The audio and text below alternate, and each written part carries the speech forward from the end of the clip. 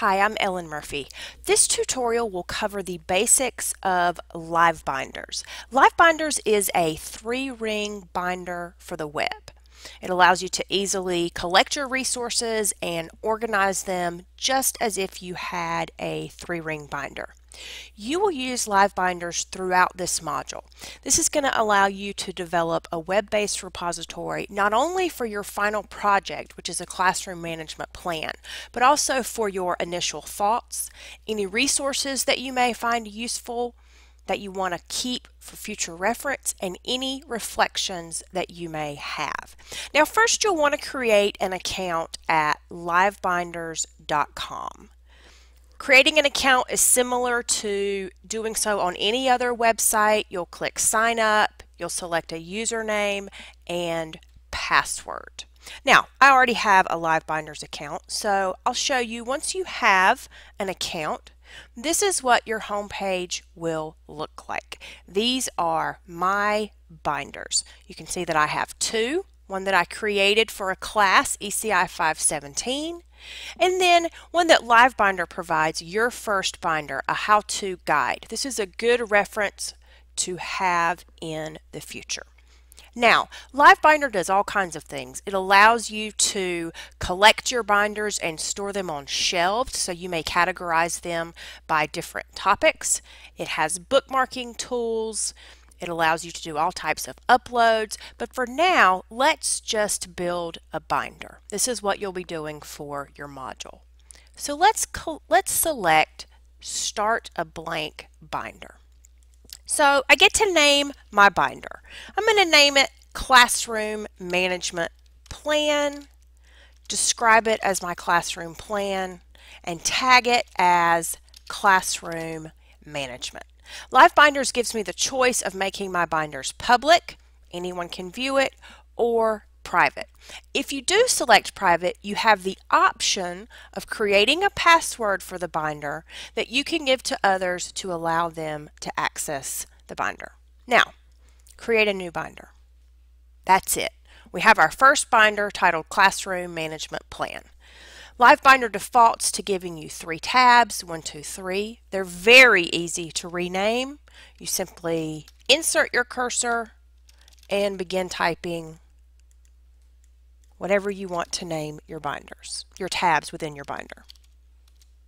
Let's call ours Initial Thoughts, Resources, and Management Plan because those are the items that you're going to be working on in this module.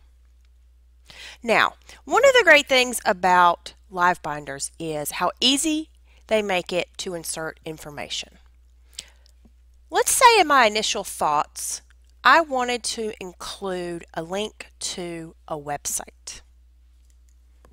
All I have to do is enter the URL, select insert, and the website is entered into my binder. Now what if I wanted to add content, add some text. I'm going to go up to add content.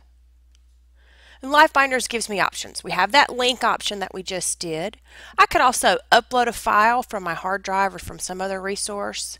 I could add other content, Flickr, YouTube, QR codes, items that I may have stored in the cloud in Dropbox, or I can do what they call select text layout, which basically means I just want to type into my LiveBinder.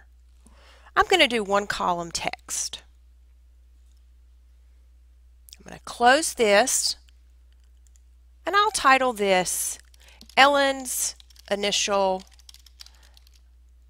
Thoughts. And I can begin adding my content. You can see that there are basic formatting options just as there are with other programs. And I can do this in any of my tabs.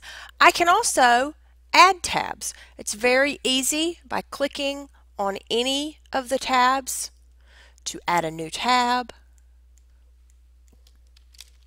additional resources, or if I decide, oh, I think I'm going to delete that tab. I can move the tabs, I can rearrange them, very, very user friendly. Another thing that LiveBinders does is allows you to have subtabs. So let's say under resources, I want to have materials from the web in one place, web links, and articles in another. I can click subtab and do websites here, click subtab, go to resources, click subtab again, and add articles. I can share my binder with a link through email, through Twitter, through various social media sites. I can add it to a shelf. Let's say I want to create a shelf of classroom management resources. I might decide to add this binder with my classroom management plan to that shelf. Be sure and save. And I can always go back to my binders. And now you'll see my classroom management plan in my binders. Very robust tool, very easy to use, and very popular because it allows us to organize our thoughts for any given project in the same way that we are used to organizing them in a three ring binder. Thanks very much.